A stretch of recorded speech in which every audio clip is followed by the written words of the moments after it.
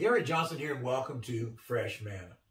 The word of the Lord for today comes from Hebrews chapter 4, verse number 2.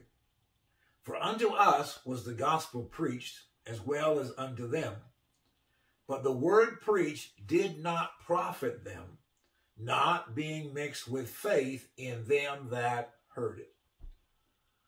You can know all the scriptures regarding healing, for example, you can believe them with all of your heart and still not be able to receive anything. Why? Because the word, no matter how much you believe it, will not profit you if you do not apply faith to it. Now we know from James chapter 2, verse number 17, that faith without works is dead. And dead faith is useless. It cannot produce anything. However, the moment that you mix some corresponding action with what you say that you believe, results will always follow. Consider the story of the crippled man in Acts 14.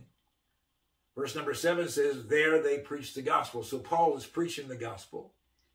And there sat a certain man at Lystra, impotent in his feet, being a cripple from his mother's womb, who never had walked, the same heard Paul speak.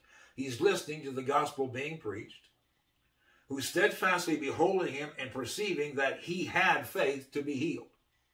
So the gospel is being preached, the man is listening, faith has come, and Paul says he has the faith to be healed, but in verse 9, he's still not healed.